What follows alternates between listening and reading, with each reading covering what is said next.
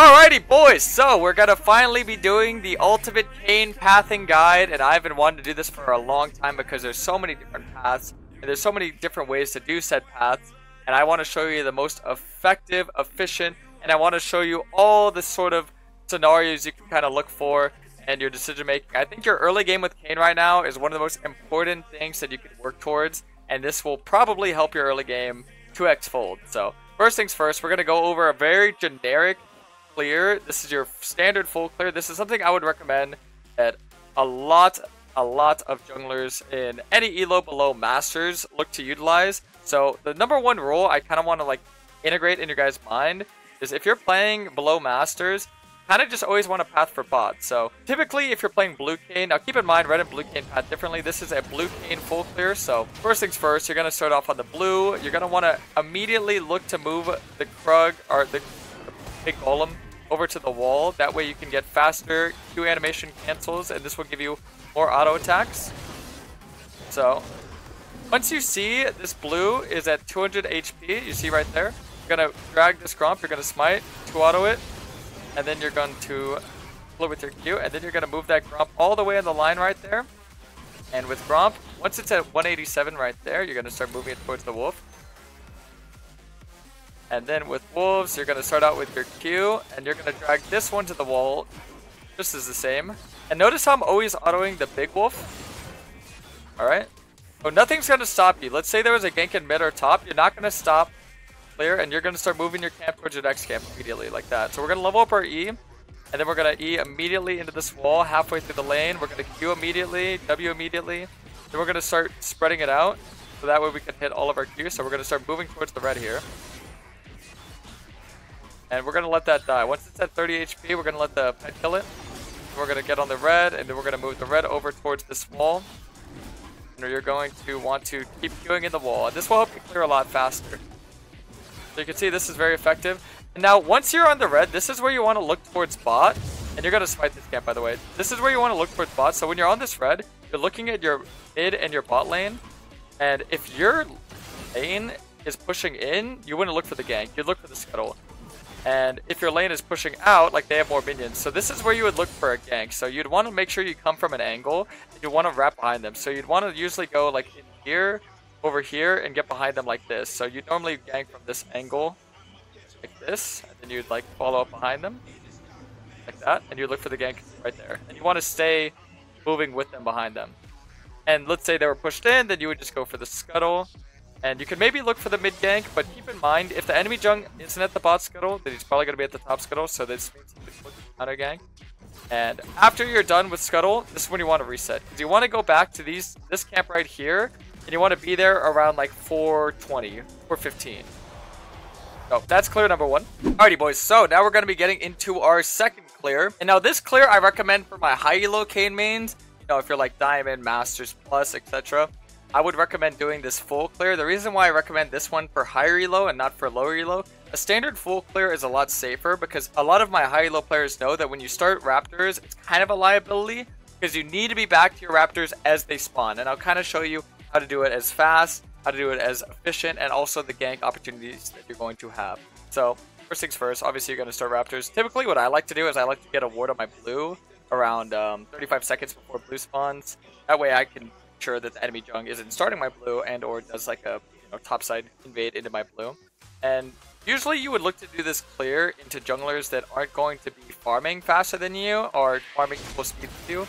Keep in mind this is good into high tempo junglers, junglers like Lee Sin, Zhao, Volibear, etc. Because you're going to be able to build a pretty big CS advantage and XP advantage, which will help you win the uh, early mid game fights. So you're going to do the Raptors, you're going to skip the red, you're going to eat all the way down to your Krugs. And notice I'm not going to use my Smite till the red.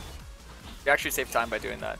The reason why you're going to be skipping your red here is because you want to make sure that when you're clearing your second amps, that you're going to not have that like wait time. Because whenever you clear the red in between your Krugs, next time you clear, you're going to have to wait oh, oh, actually like 10, 15, 20 seconds.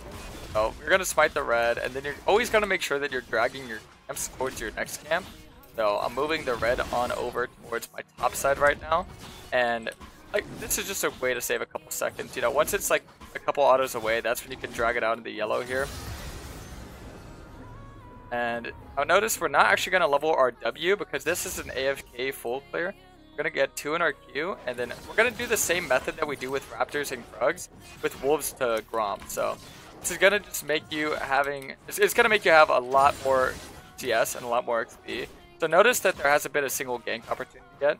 It's kind of what you're like, oh, it's, it's a bit of an AFK early clear, but your second clear you can look to be a lot more aggressive. After you get that first reset, you're to have a lot of uh, gold for your first reset. Some people don't even get a pot. I get pots sometimes just in case there is a fight. It's nice to have that bonus HP.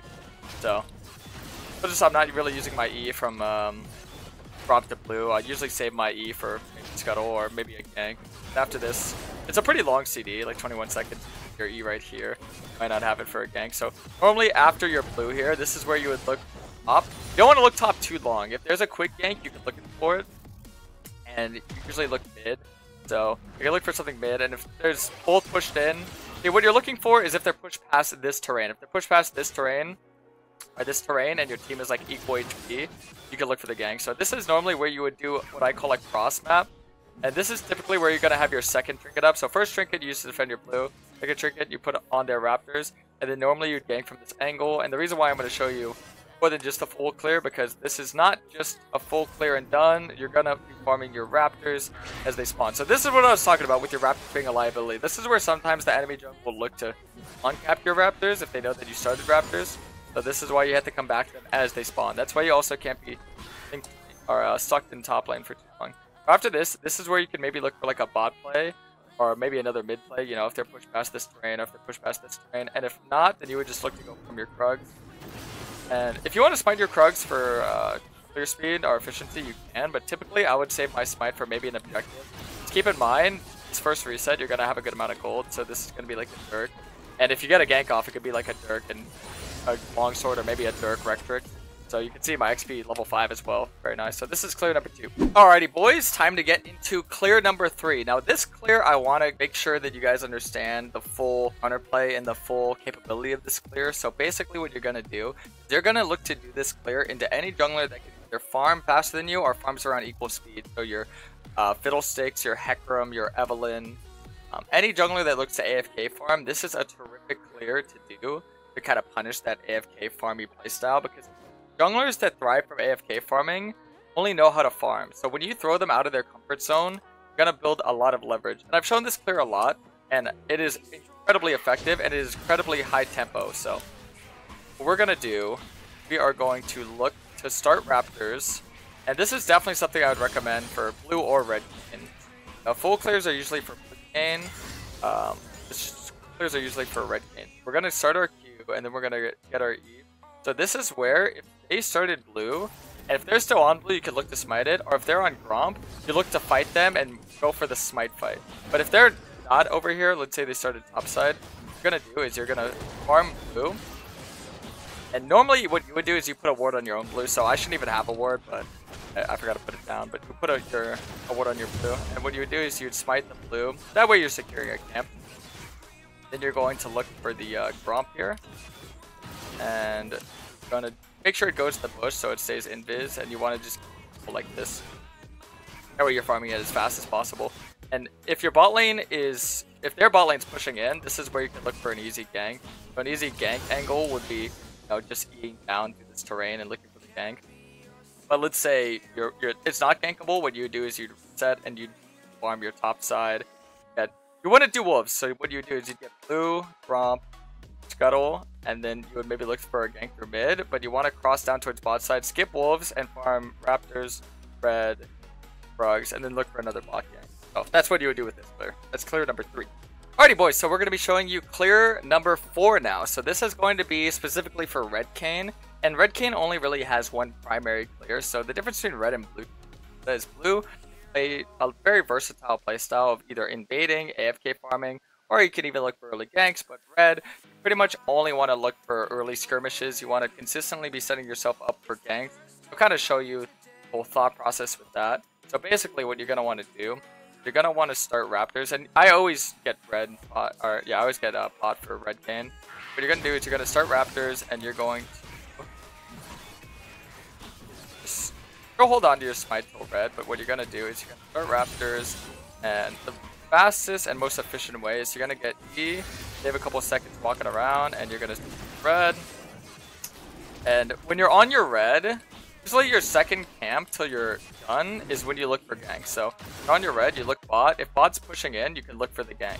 And if they're pushing out, then you don't look for the gank. So you're gonna do red, usually you smite red, and then you're gonna do Krug. So let's say hypothetically if this is gankable, you know, I wrap around, get behind them, and I'm gonna look for the gank. But let's say it's not gankable, because that's usually the case. Sometimes you're not gonna find that early gank.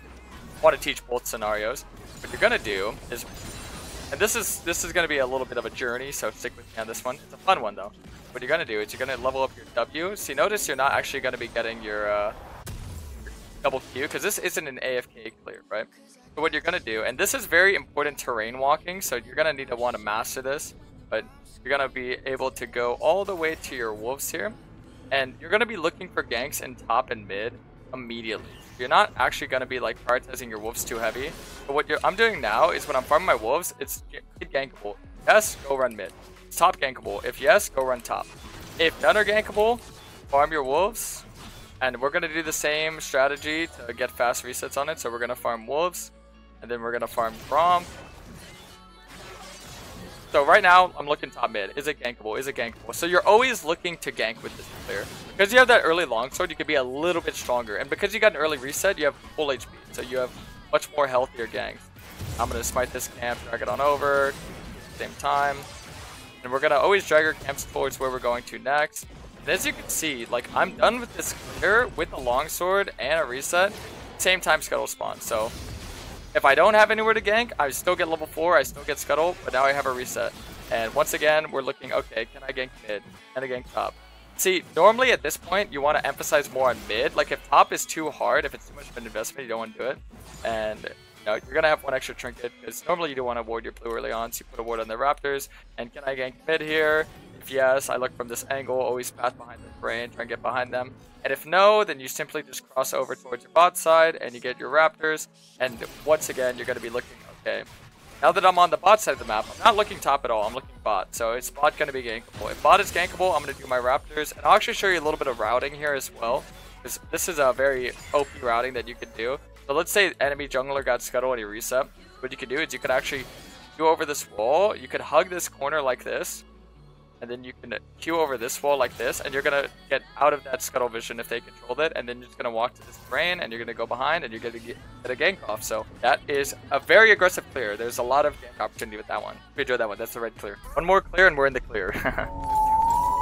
Alrighty, so we're gonna be doing the final clear. Now, I mentioned early on that um, the most important clear for my lower elo Kayn mains is to just do a full clear towards bot lane and that works for both sides. So I want to show you the fastest and most effective way full clear on red side, not just blue side. So this one's going to be a little bit different than uh, blue side, and a lot of people like this clear, so hopefully you boys will enjoy. We're going to minions off because I don't want them to hit me. So what we're going to do, and you don't need a leash. Sometimes you get a leash, sometimes you don't. But uh, normally you don't need a leash, so what we're going to do is we're going to be starting red, we're going to be queuing into the ball, and we're going to drag yeah. Head into this bush. We use our Q pretty consistently here. Over and over and over.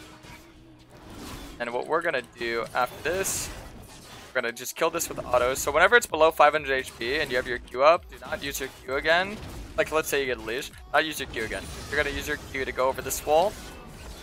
And you're gonna get your E. Now notice I didn't use my E yet, and notice I didn't use my Smite yet. You're gonna hold on to both these. And when you're doing a full clear, you don't always need to get pot. I get pot sometimes because, you know, after my full clear, sometimes look for a gank. I said the extra HP, so normally you should be done with your Krugs at 210. Perfect timing. And you're gonna do the Raptors, you're gonna auto it once, take one step back, you're gonna kill them all, and then you're gonna auto this three, four times. Drag them all to this bush, you're gonna kill all at the same time. You're going to put two in your queue, and you're gonna run straight down bot here and we're going to go for the wolves. You're going to want to smite immediately. You're going to auto Q, auto 1, three times, and then you're going to E on down to the blue. Out of this one, three times, and then you're going to Q to the right. And you're going to drag this Gromp, or you're going to drag it all the way over to the Gromp. and Normally you want to get it into this terrain so you can get them the wall. Get a little bit more fast, a little bit more effective. But what I could do here is I could smite the Gromp. you to the left, so get a little bit of healing for when I go to gank. And I should be done with the Gromp by around 315.